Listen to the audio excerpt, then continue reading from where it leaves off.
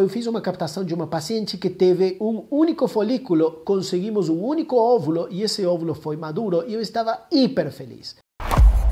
Porque é uma paciente de 36 anos que me consultou em julho, mais ou menos julho, agosto, e ela estava sem menstruar desde outubro de 2018, ou seja, fez um ano que ela não tinha menstruado. O último FSH que ela tinha era de 129, 129, totalmente compatível com menopausa, mas como ela tinha menos de um ano de que não tinha menstruado, como ela tinha 36 anos, ou seja, um folículo, ele já pode me ajudar, decidimos modular estes hormônios. Depois de começar essa modulação hormonal, foi para 117, ou seja, diminuiu, mas não muito. O segundo controle já deu, que foi mais ou menos 10 a 15 dias depois, deu 63 de FSH e depois começou a diminuir. E depois deixamos os níveis hormonais naquele patamar que é o normal para um folículo crescer, aqueles tipo como se fosse que ela está com um ciclo totalmente normal. Estávamos no dia mais ou menos desde que começou,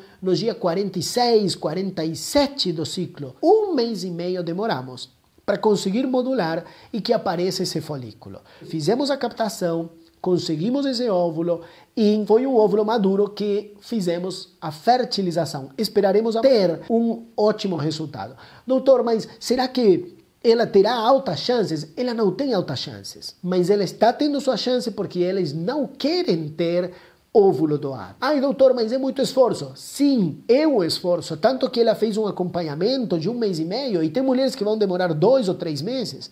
Mas quero que vocês entendam que até nas mínimas reservas ovarianas, se você tem ciclos menstruais, nós temos melhores chances até do que nessa paciente que faz muito tempo não estava menstruando. Eu sugiro que as pacientes que não menstruam mais façam estimulação. Elas não fazem estimulação porque não podemos estimular não vamos fazer crescer. Sim, podemos modular e tentar que apareça. É um caminho extremamente difícil e, em geral, eu digo, conseguimos ajudar com a fertilização in vitro a mulheres que menstruam regularmente ou irregularmente, mas no máximo a cada um mês e meio.